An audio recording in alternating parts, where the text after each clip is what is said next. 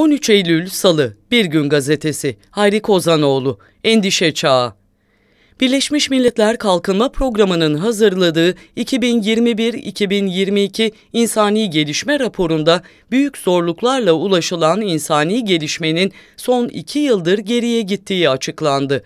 İnsan yaşamının kalitesinin ölçüldüğü İnsani Gelişme Endeksi her 10 ülkenin 9'unda geriledi.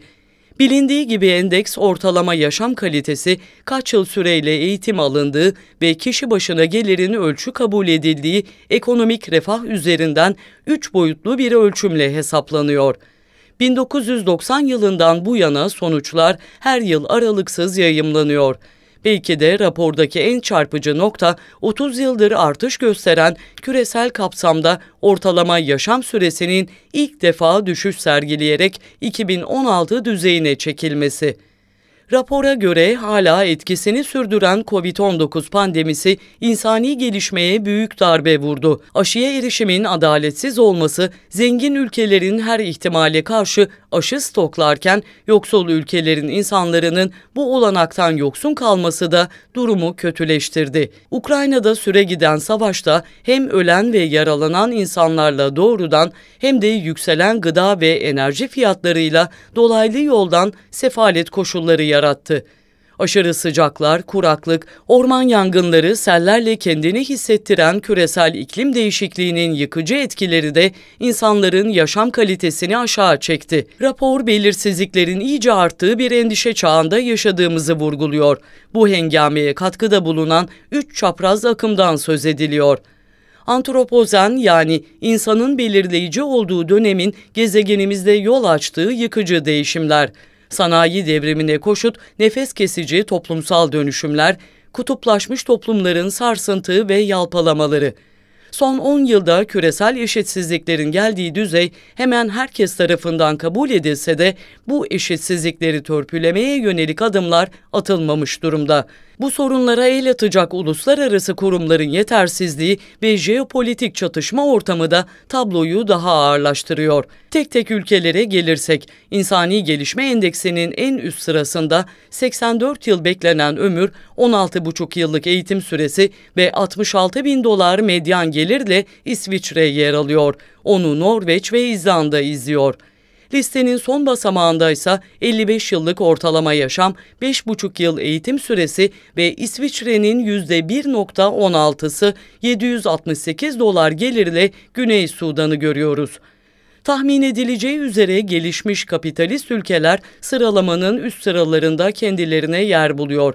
Ne var ki ABD emperyalizminin göreceli konum yitirişi endeks rakamlarından da açıkça okunabiliyor. 1990'da yayımlanan ilk raporda ABD, G7 ülkeleri arasında en gelişmiş ülke statüsündeyken bugün Almanya, Kanada, Birleşik Krallık ve Japonya'nın ardından 5. sıraya düşmüş durumda. Michael Roberts ABD'ye ilişkin istatistikleri ayrıntılandırıyor. ABD'de ortalama yaşam süresi 2019'dan sonra COVID'in etkisiyle 2,4 yıl düşüyor. ABD'de yaşam süresini kısaltan etmenler pandemiyle sınırlı kalmıyor. Obezite, ateşli silahlarla ölüm, ağır uyuşturucu kullanımı, araba kazası gibi tüm olumsuz etmenler diğer gelişmiş ülkelerden daha sıklıkla görülüyor. Raporda Türkiye'nin 54. sıradan 48. sıraya yükseldiği görülüyor. Tabloda ortalama yaşam süresi 76, ortalama okul süresi 18,3 yıl ve 2017 satın alma paritesi bazında kişi başına gelir 31 bin dolar gösteriliyor. Şimdiden itirazları duyar gibi oluyorum. Haklısınız. Türkiye'de istatistiklerin zaten güvenilirliği kalmamış durumda satın alma gücü paritesine göre hesaplanan gelir rakamları ev içi bakım, geçimlik tarım, kayıt dışı ekonomi gibi parasal kayıtlara geçmeyen üretimler nedeniyle Türkiye gibi orta gelişmişlik düzeyinde ülkeler gelişmiş ekonomilere biraz yanaşsa da bu rakam çok abartılı görünüyor. Ayrıca eğitimin süresi kadar kalitesi de önem taşıyor. Mustafa Kömüş'ün pazar günkü haberine göre şu anda İmam Hatipler'de 1 milyon 327 bin kişi kayıtlı bulunuyor. Ülkenin de çocuklarının da böyle bir eğitime gereksinimi yok.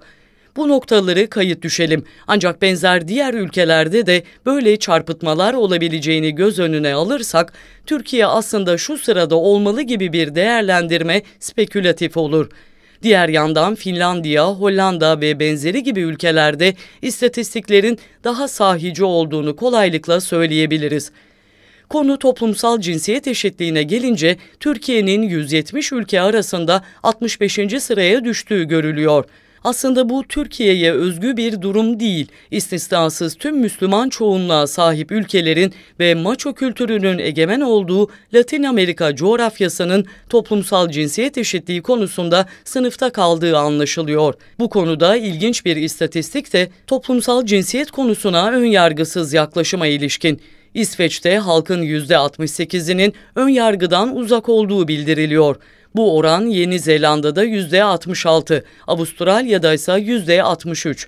Türkiye'ye gelince ise %8.36'ya kadar düşüyor. Yine de bizde şehirli, seküler, hoşgörülü bir kesimin varlığı durumu bir parça olsun kurtarıyor. Çünkü Mısır'da %0.42, Endonezya'da %0.34, Pakistan'da %0.20 gibi daha ürkütücü istatistiklere rastlanıyor. Rapor dünyada keskin bir rota değişikliği olmazsa yoksulluğun ve adaletsizliğin yaygınlaşacağını öne sürüyor ki ne yazık ki tüm belirtiler böyle hazin bir gidişata işaret ediyor. 13 Eylül Salı Bir Gün Gazetesi Hayri Kozanoğlu Endişe Çağı